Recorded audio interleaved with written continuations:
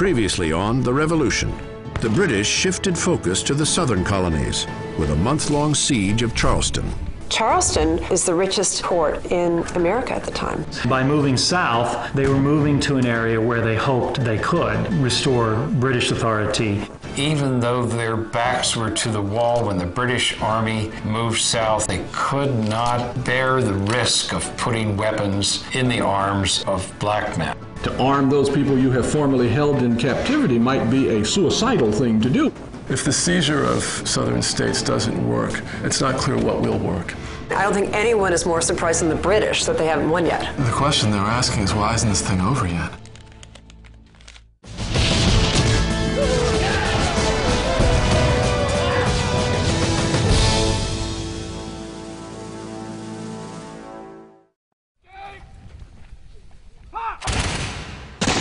May 1780.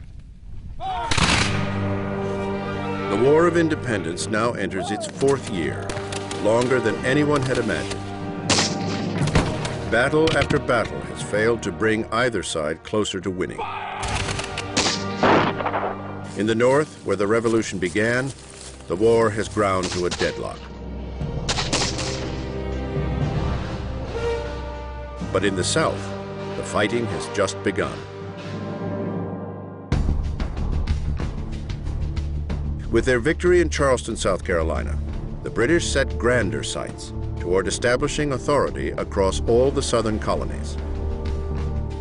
The colonies here would be a handsome prize for King George. It is a land rich in lucrative crops like tobacco and rice, and by all accounts, full of colonists loyal to the crown. The British expect to find little resistance. Here, at last, they would find colonists loyal to the king and eager to embrace the British Empire, especially for its protection and trade. By moving south, they were moving to an area where they hoped that they could finally restore British authority and uh, put the Loyalists in charge. The goal was always to try to isolate the rebellion. Uh, the assumption was that most colonists, given the chance, would be Loyalists. For four years, the British have tried to find those colonists loyal to the crown. For four years, they have encountered an America deeply divided. But now, down south, they believe they have their strongest foothold. The South needs England, and England needs the South. They will drive their strategy toward the backcountry. Into this frontier, the British send one of their most effective and ambitious officers, Colonel Banastre Tarleton. He is destined to become a household name in the South, only it will not be for bravery, but for brutality. Tarleton is known for his daring, for moving his cavalry quickly, and the troops, quick hits. He's also known for just for no restraint. He's a little bit of a dandy, which was appropriate for that era, but he fights like a Tasmanian devil. The British will not only raise and train a loyalist militia to keep peace in the South, they will hunt down rebels and destroy them. No one is better suited to that task than Tarleton. 100 miles from the coast, he closes in on the remains of the Continental Army in retreat from their defeat at Charleston.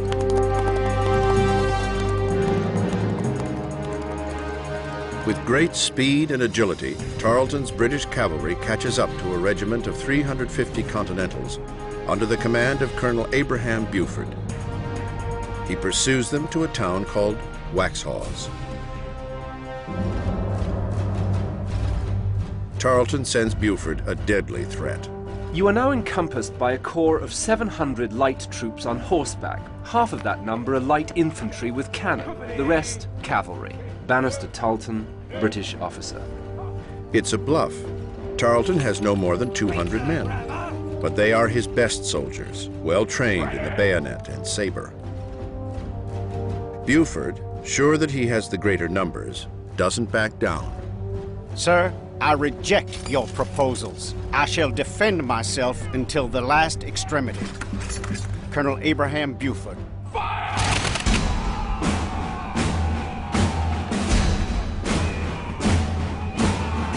Buford's words will prove prophetic.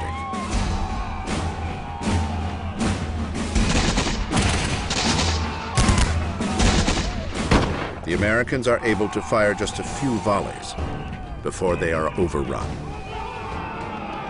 But Tarleton doesn't stop there.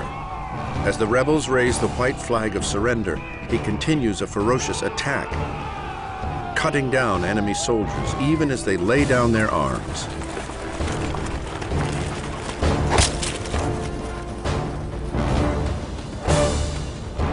It will soon be remembered as the Waxhaws Massacre. Our captain attempted to defend his head with his left arm until the arm was hacked off. His head was then laid open to the eyes. Continental soldier. Waxhaws is a painful loss for the Americans. But they will turn their defeat into another kind of victory on the propaganda front. The Battle of the Waxhaws is used by patriot propagandists to depict the British as monsters who will massacre their soldiers in a dishonorable fashion and ride roughshod over the countryside. Any occupying force trying to subdue a rebellion on the home soil of an insurgency is going to operate at a disadvantage when it comes to the propaganda war. Waxhaws will be remembered and used as a battle cry against the British. It sets the tone for the divisive war coming in the backcountry. Banastre Tarleton receives a reprimand from his superiors, but they do little else to rein him in. The man now known as Bloody Ban continues deeper into the backcountry, where the British are about to dig themselves an even bigger hole.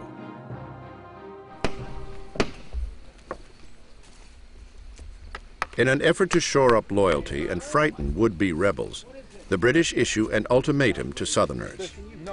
All persons who shall neglect to return their allegiance to His Majesty's government will be considered as enemies and rebels and treated accordingly.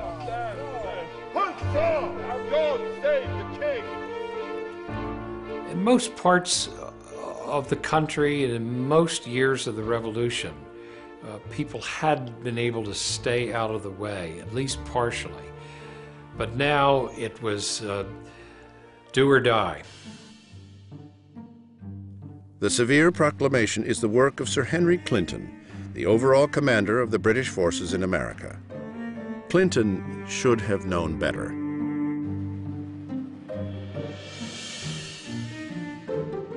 Back in 1776, the British issued nearly the same document in New Jersey, banking on strong loyalist sentiment. It backfired then, and it will backfire now. The verity here, if there is one, is if you're going to push someone off of the fence, you ought to be pretty certain which side of the fence they're going to fall on. Now everyone must choose, for or against, loyalist or patriot. Old rivalries and fresh wounds inform their choices. The British have created a tempest in a teapot.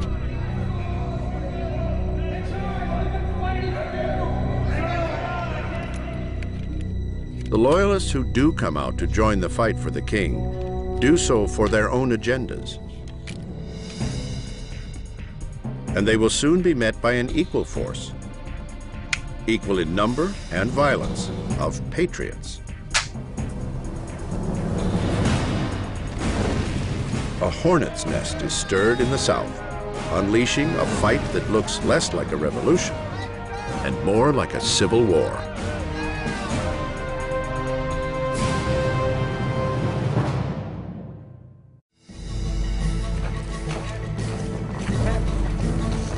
The British Army now moves deeper into the Carolina backcountry. having declared, in a misguided proclamation, anyone not a friend an enemy, they intend to back up their words with force. But resistance is deeper than they think. Late June 1780. British Commander Sir Henry Clinton has lived in Charleston for a month now and can sense trouble brewing in the wilderness. His response? Leave for New York and turn the Southern Command over to another officer. London, England. The man who will replace Clinton is no stranger to the American War. General Charles Cornwallis will soon return to the colonies, but a changed man. He has been in England to bury his beloved wife. Now, with her passing, Cornwallis can think only of escaping his memories. Going back to the one place he hopes will be a tonic for his grief. He is devastated. And like many men, throws himself back into his work. In Cornwallis's case, it was the work of fighting the war. Whether he wins or loses in the colonies is no longer the point. I am now returning to America. Not with views of conquest and ambition. Nothing brilliant can be expected in that quarter. But I find England quite unsupportable to me. It has now no charms for me. I must shift the scene.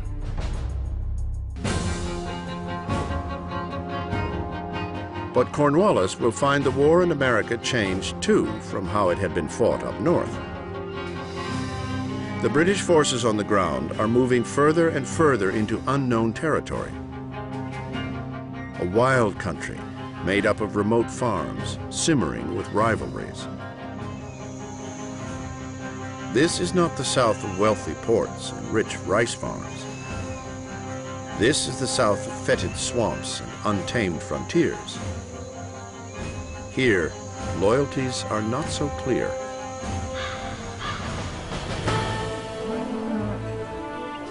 Those who might be loyalist, like everyone in this backcountry frontier, harbor grudges the British don't understand.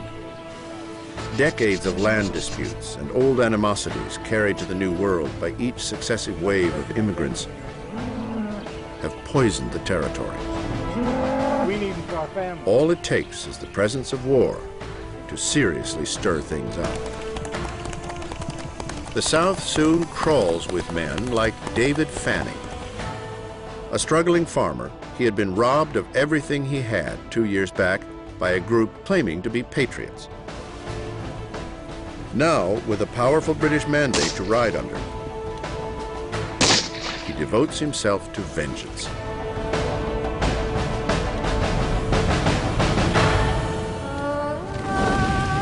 Fanning also gathers more like him. Loyalist militia swarm over the backcountry with their campaign of terror. They are less interested in the outcome of the revolution than in the chance to pillage and grab land from their patriot neighbors. I heard the horses coming in such a furious manner, but I'd no time for thought. They were up to the house, entered with drawn swords and pistols in their hands, crying out, Where these rebel women? Then they began to plunder the house of everything they thought worth taking. Eliza Wilkinson.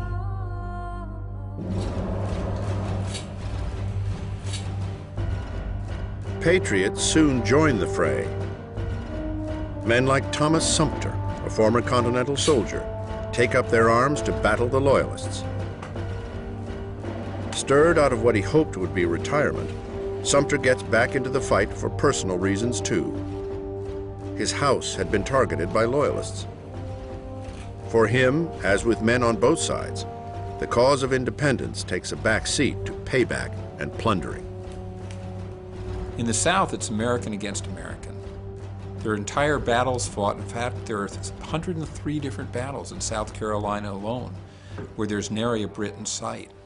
This is Tory militia against, against uh, Patriot militia. Each side attempts to outdo the other in terror and brutality. whipping, tar and feathering, and a particularly gruesome device called the spigot becomes as commonplace as revenge. A loyalist was placed with one foot upon a sharp pin and turned around. As cruel as this punishment might seem to those who never witnessed the unrelenting cruelties of the Loyalists, I viewed the punishment with no little satisfaction. Charles Gibson, Southern Patriot.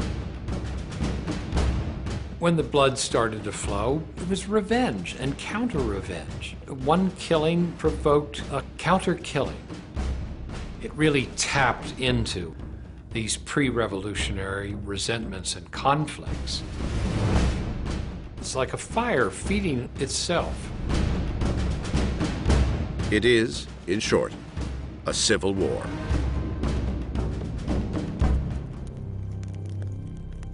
The entire strategy was failing for Cornwallis and the British, producing not peace and order, but chaos and retribution. What happened to Cornwallis in the South is a long and bloody guerrilla war that had by that time made it extremely dangerous for anyone to reveal he was a loyalist. This was not the way warfare was supposed to be conducted, what people called the dogs of civil war. This was the way wars were fought in the southern backcountry. Cornwallis must rethink the very premises of his campaign. Forget the Loyalists and their private wars. Attack the rebels where it counts most, the army. Cornwallis is a man utterly devoid of self-doubt. He really becomes convinced that he can lick the remainder of the Southern Department of the Continental Army. So he engages what's essentially a headlong rush to complete the annihilation of this force. From his headquarters in New Jersey, General George Washington realizes he must respond. He prepares to fortify the army in the South with new troops, and more importantly, with a new commander. But the man he wants to lead the Continental Army in the South is snubbed by Congress. Instead, the Continental Congress will send their man. They turn to General Horatio Gates, the hero of Saratoga, to head up the Southern campaign. George Washington is furious. They have chosen one of his greatest rivals and a general he considers inferior.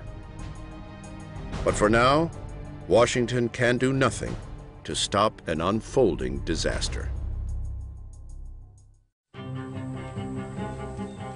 In the Carolinas, civil order crumbles as patriots and loyalists battle each other. In July, Congress scrambles to form and equip a Southern Army.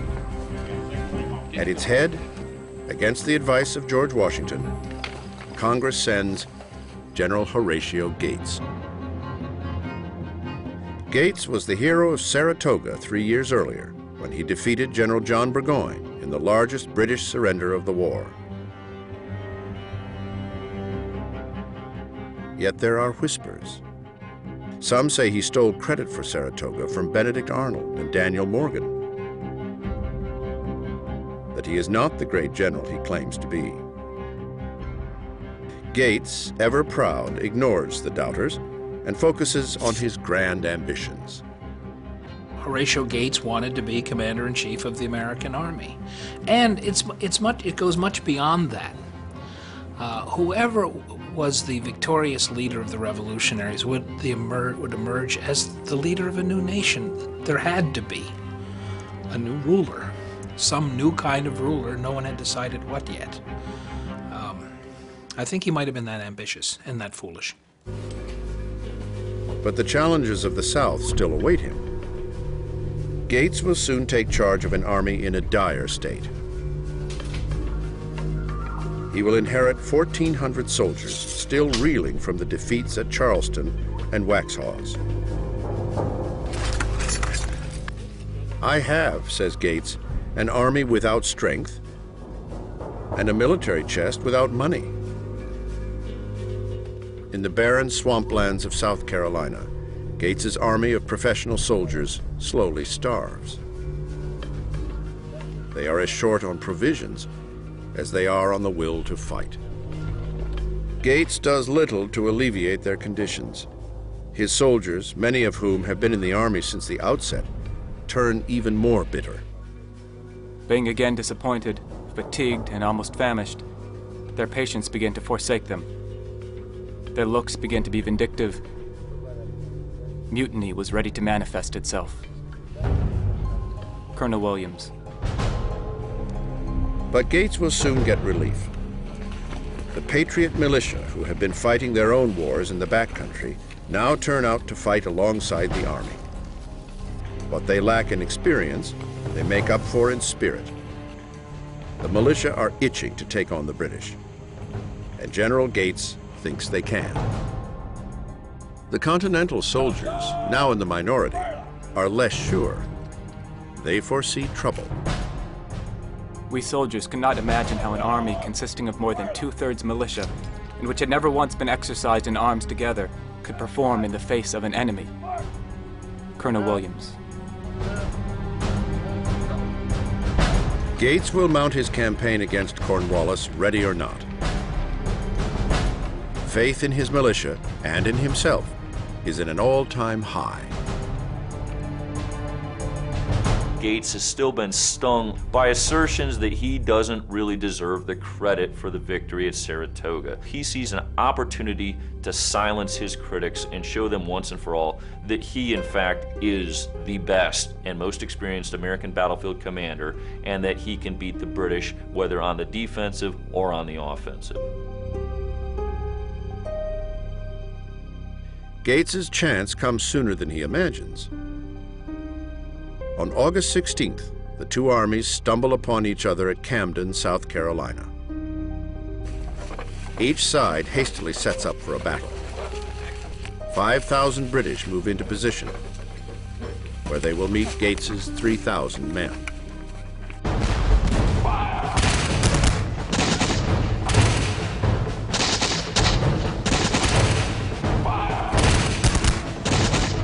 General Gates sends his militia out front, where they get their first taste of the best trained army in the world.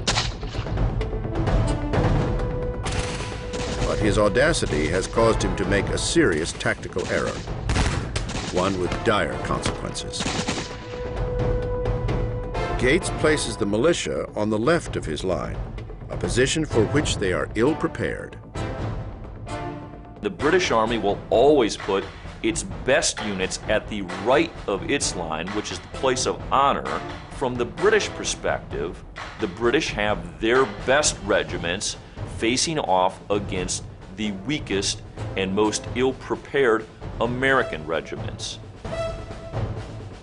The best of the British is led by none other than Bloody Ban Tarleton, the butcher of Waxhaws.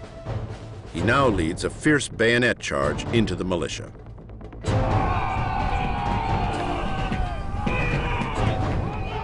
Can't you imagine them just standing there and watching this line of red coming at them, you know, huzzaing and presenting 18 inches of cold steel coming at them.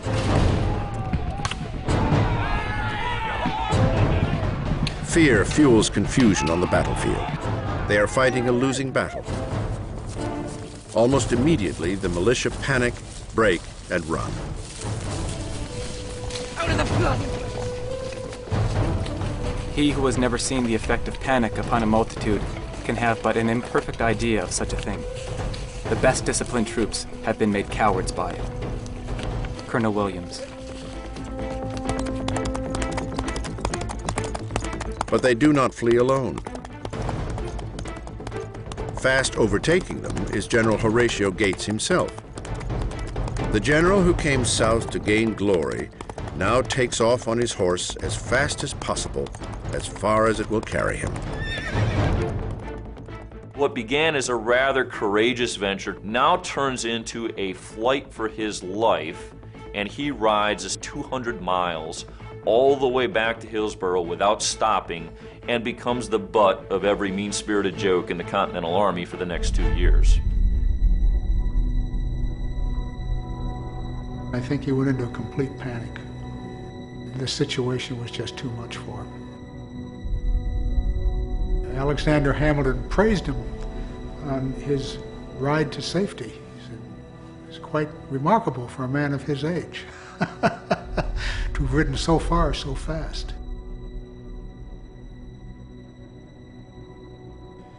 The Battle of Camden scars Gates' reputation forever. It similarly tarnishes the Army, and in particular, the militia. Few now believe the Patriots can hold the South. Even though the future of the Revolution depends on it.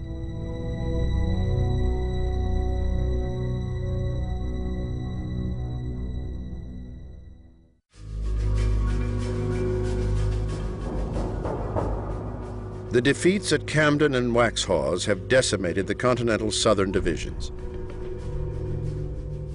Of the 3,000 troops who marched at Camden, over half have been killed, captured, or wounded. The majority of the Patriot militia simply disappear back into the wilds.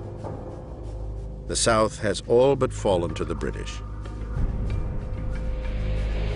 In New Jersey, George Washington soon receives news of the defeat at Camden. Washington feared the worst when Congress appointed Horatio Gates, and the worst has happened. Gates will face court-martial. But there is a more urgent concern. Who will now lead Washington's Southern Army? It's after Gates's debacle at Camden that Washington is finally allowed to send the man he wants. And of course, he goes to Major General Nathanael Greene.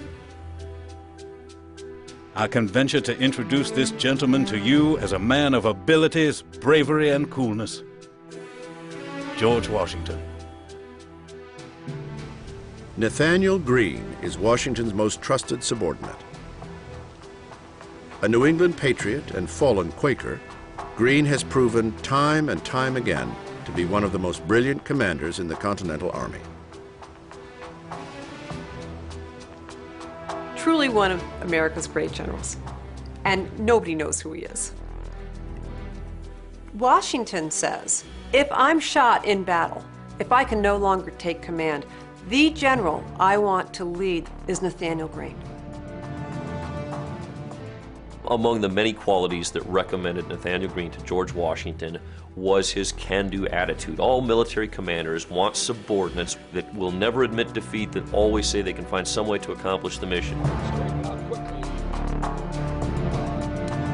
Greene will travel far from his native New England to take on this formidable command, only to find an army ravaged and dispirited. I am removed from almost all my friends and connections and have to prosecute a war with almost insurmountable difficulties. I cannot contemplate my own situation without the greatest degree of anxiety. Nathanael Greene, Continental General. Only 800 are deemed fit for duty. The rest, Greene reports, are literally naked, starving with cold and hunger.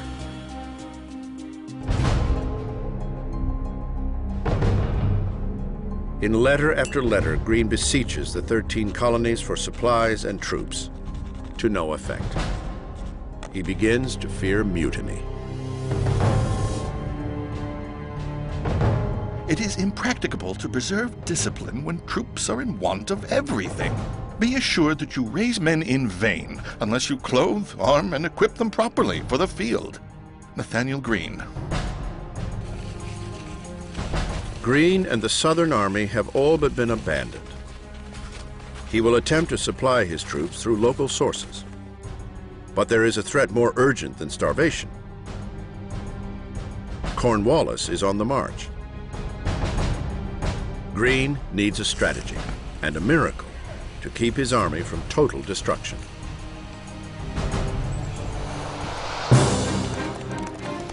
The fortune Greene needs soon arrives in the form of Colonel Daniel Morgan, one of the most courageous and unusual officers the Americans have. Morgan's past is cloaked in mystery, and he never speaks of it. By age 17, he appears as part of the British Army during the French and Indian War.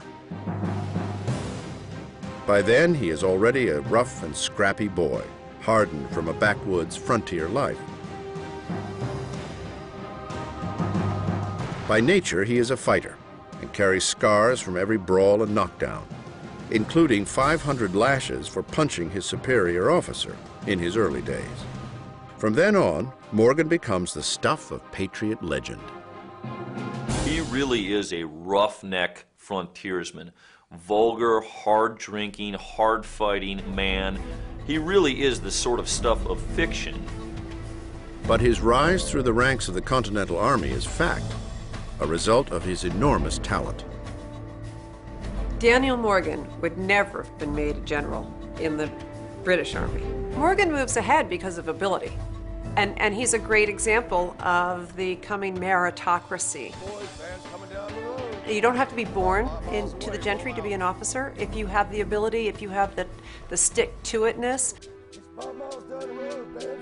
By the time Morgan reaches the South, his hard-earned reputation and his role at major battles like Saratoga gains him the respect of patriots and the resentment of the enemy.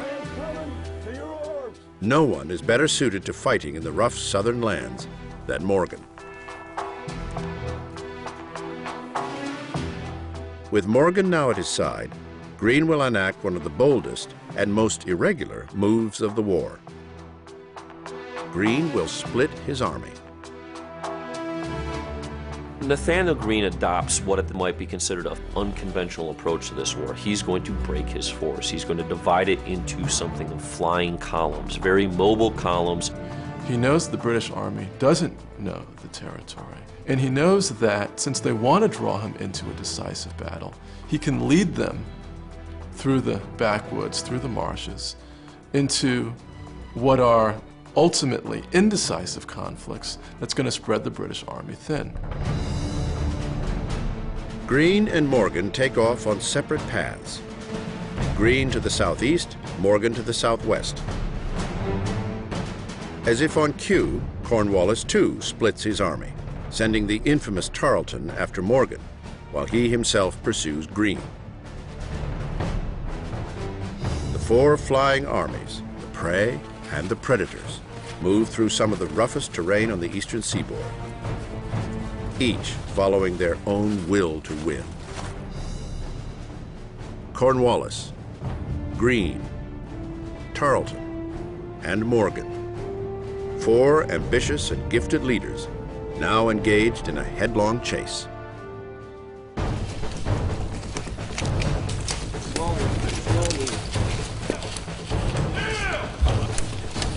On the fringes of their armies, they skirmish, confirming over and over again the proximity of each other's troops. Yet Greene and Morgan, with their lighter armies, move faster, avoiding a major battle. Instead, they draw the British deeper into the backcountry, further from supply lines and reinforcements. General Cornwallis, the British commander, grows more frustrated with each mile of rough terrain. The farther Greene goes, the more intent Cornwallis becomes on catching him. He is going to chase Nathanael Greene all around the Carolinas, trying to gain that decisive battle. Greene, knowing better than to engage Cornwallis on Cornwallis's terms, is not going to let Cornwallis catch up to him. As close as Cornwallis gets, Greene is always able to stay one small step ahead of him. Be a little careful and tread softly, for depend on it, you have a modern Hannibal to deal with in the person of Cornwallis. Daniel Morgan has his own nemesis to contend with. Banastre Tarleton and his ferocious regiment. Morgan knows he can't outrun them for long. Up north, far from the swamps of the South, the war for independence looks very staid. No armies engage, nor are battles fought. Here, the British and Continentals are at an impasse. In New York City, Sir Henry Clinton, the overall commander of the British in America, whiles away his time in luxury.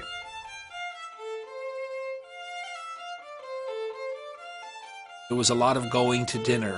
He put on a lot of weight. There was a lot of inspecting the troops.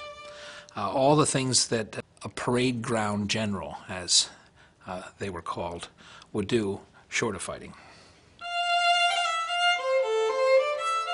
The war down south is far off. Clinton receives fewer and fewer dispatches from Cornwallis, but that doesn't concern him, at least not enough to leave New York City.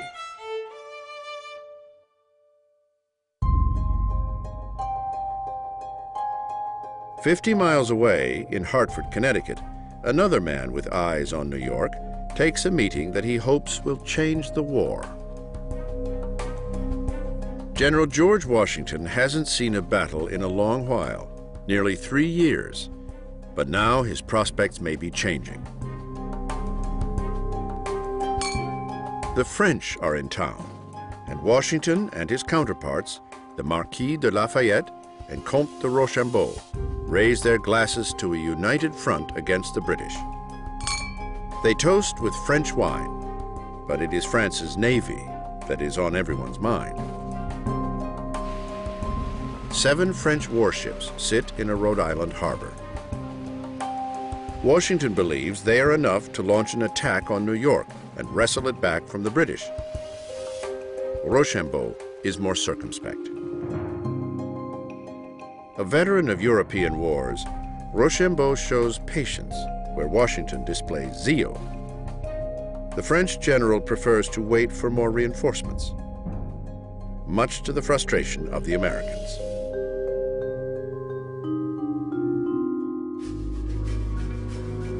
Though these French ships sit idly in Newport, Rhode Island, the French have already tipped the balance of power in the war, but in less obvious ways.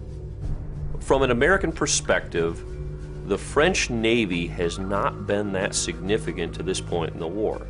The American perspective is a little bit biased and not very complete.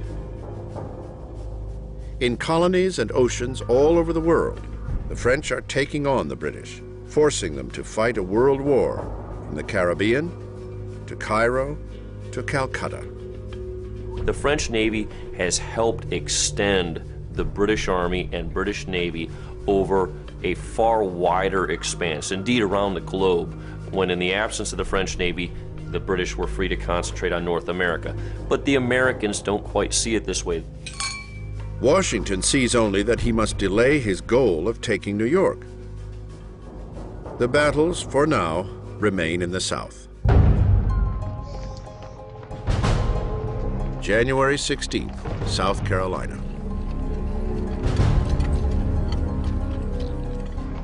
Daniel Morgan can no longer avoid confronting Tarleton's forces.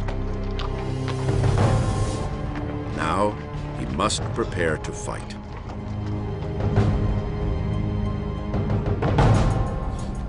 On the eve of their battle, Morgan visits with his troops. Out of 600 men, more than half are militia. The same untrained forces that were last seen fleeing the field at Camden. Morgan's challenge? Make them engage. As he faces the most grueling battle of his life, Morgan rallies these citizen soldiers. Just hold up your head, boys. And when you return to your homes, how the old folks will bless you for your gallant conduct. Daniel Morgan. Morgan has great rapport with his troops. He loves to joke with them, to talk with them. I think they really just find him one of the great officers they've ever served under. He tells them things like, We'll have you home soon, boys, to kiss your girlfriends. January 17th. On a mild winter morning, the battle takes shape on a field known as Cowpens. Here, Morgan puts into play his own new strategy, one of the most inventive of the war and most timely. Up to that point in the war, nobody had figured out how to use militia in a formal battle because they weren't trained to meet British regulars in a formal engagement. Morgan, he figures it out.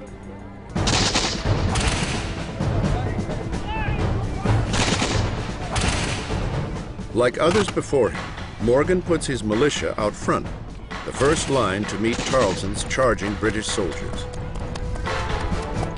Only this time, he tells them to fire just two shots, a quick volley, and then fall back. Against the onslaught of the British charge, they do just that. When the British see this, they think that they have earned a replay of Camden, that they have essentially caused a rout of the militia forces who are breaking from the field. They will pursue a headlong rush and find themselves facing the very well-directed volley fires of Morgan's regulars. The result is predictable for Tarleton's Legion. Banastre Tarleton, the aggressive and ambitious young officer, drives right into Morgan's trap. The Continentals reply with alarming force.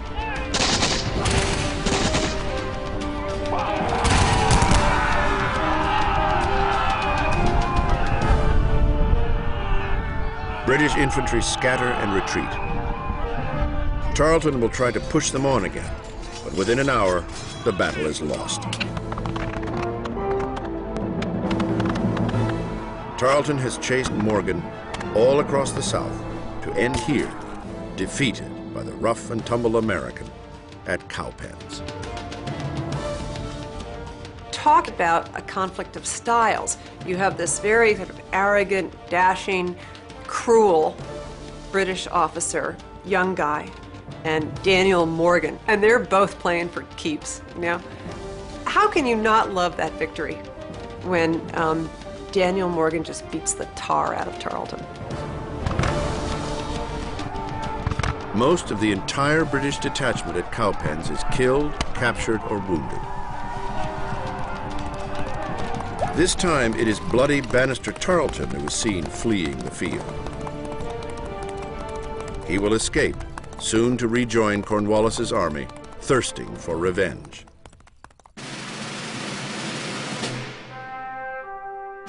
It was Morgan's whim. Morgan had outplanned, outstrategized, and outled his counterpart. He had transformed his militia army at their moment of greatest need. But it will be the backcountry brawler's last battle. Morgan all along suffered quietly from painful back ailments and rheumatism.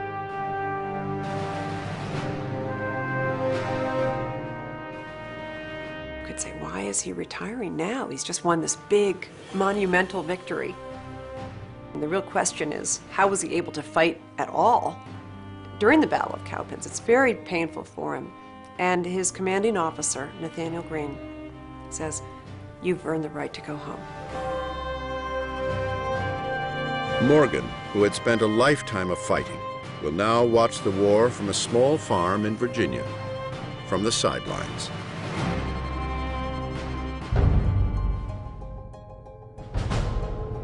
For Nathanael Greene, the chase is still on. Cornwallis is closing in, and with Tarleton again by his side, they will come at Greene with everything they've got. The war in the South will go on, as bloody and vicious as ever, but the stakes are rising. From the south to the north to across the Atlantic Ocean, everyone is asking the same question. How will this war end? And when? For everyone, time is running out on the American Revolution.